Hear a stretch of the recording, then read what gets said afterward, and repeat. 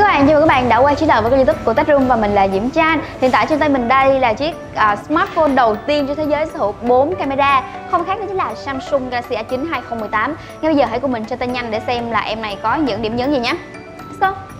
Phiên bản mình đang cầm trên tay nó là màu xanh và phiên bản màu hồng. Thì à, hai phiên bản này có hiệu ứng chuyển gradient như các bạn thấy. Ở trên nó sẽ là một cái màu nhạt dần như là màu xanh nhạt nè Rồi màu hồng nhạt. Và ở dưới nó sẽ là chuyển dần thành màu đậm hơn như là màu xanh và màu hồng đỏ hồng đậm hơn. Thì cái hiệu ứng gradient này đang là một cái à, gọi là cái à, xu hướng trong năm nay mà đang rất nhiều hãng đã làm theo. Và mình nghĩ là trong năm 2019 thì cái màu sắc như thế này vẫn sẽ được tiếp tục áp dụng.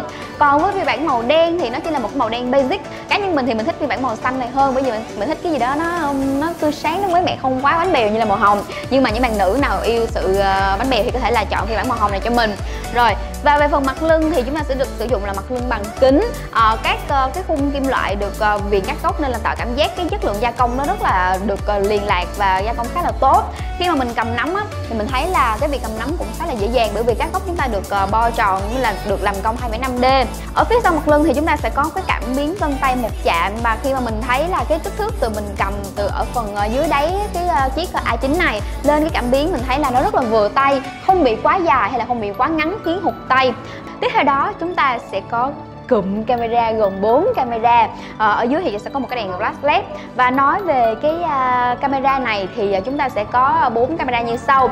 Thì ở với camera đầu tiên là camera góc rộng 120 độ. Chắc là đã các bạn đã quá quen trên chiếc A7 2018 rồi. Và sẽ có độ phân giải là 8 megapixel với khẩu độ f là 2.4 Tiếp theo là chúng ta sẽ có một cái camera tele 10 megapixel, bộ độ f 2.4 và camera tele này sẽ cung cấp khả năng zoom quang 2x và camera thứ ba là camera chính với độ phân giải là 24 megapixel, khổ độ f 1.7 và cuối cùng là camera có độ phân giải là 5 megapixel khổ độ f 2.2 thì camera cuối cùng này là để đo chiều sâu dùng cho tính năng là xóa phông light focus mà các bạn đã quá quen thuộc rồi.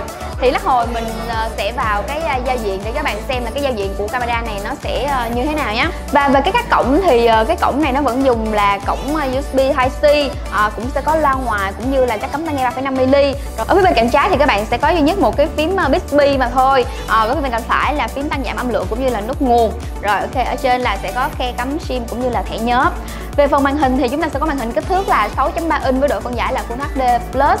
Và tỷ lệ màn hình là 18.59 khi mà mình à, sử dụng những cái thao tác ở ngoài trời nắng thì mình thấy là với cái màn hình này uh, khá là tốt. Cái ánh sáng của nó cho cái chất lượng hình ảnh cũng rất ok không có bị uh, chói hay là không có bị uh, bị thay đổi cái góc nhìn làm khó khi mà các bạn đi ra ngoài trời nắng á. Rồi và tiếp theo thì nói về cấu hình của em này thì uh, chiếc uh, i9 2018 sử dụng con chip Snapdragon 660 RAM là 6GB chúng ta sẽ có một phiên bản là 8GB RAM nữa nhưng mà hiện tại thì không biết là trong tương lai có về Việt Nam hay không. Và bộ nhớ trong là 128GB bộ nhớ lớn thì sẽ giúp các bạn lưu trữ được nhiều hình ảnh cũng như là nhạc hơn.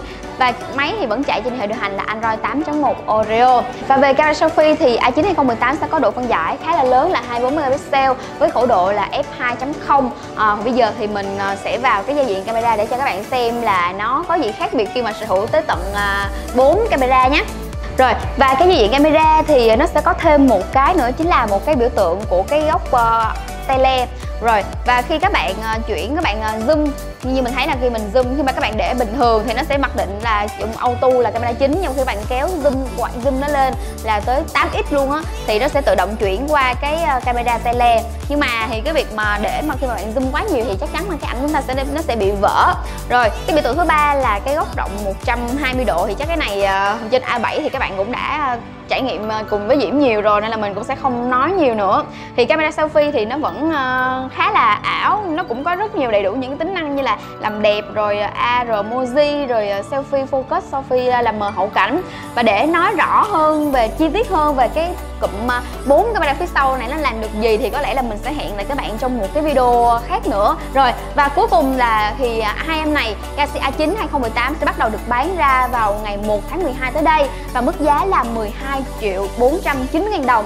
Với phần quà tặng thì các bạn đặt trước Galaxy a9 2018 sẽ được tặng gói nghe nhạc Premium trên Spotify trong 90 ngày, à, được tặng à, tai nghe Icon X với trị giá là 4 triệu 990 ngàn đồng và quà tặng đặc quyền Galaxy Gift với trị giá là 900 ngàn đồng tại hệ thống Highland cũng như là Lotte Cinema trên toàn quốc à, với à, xem phim miễn phí trong à, 90 ngày. cũng rất là đặc biệt đúng không? Và như vậy thì các bạn có suy nghĩ gì về chiếc Samsung Galaxy A9 2018 này? Hãy để lại comment dưới video này nhé. Xem xong video thì các bạn đừng quên nhấn nút like share cũng như là subscribe để ủng hộ cho tụi mình. Còn bây giờ thì xin chào và hẹn gặp lại các bạn trong những video lần sau. Bye bye!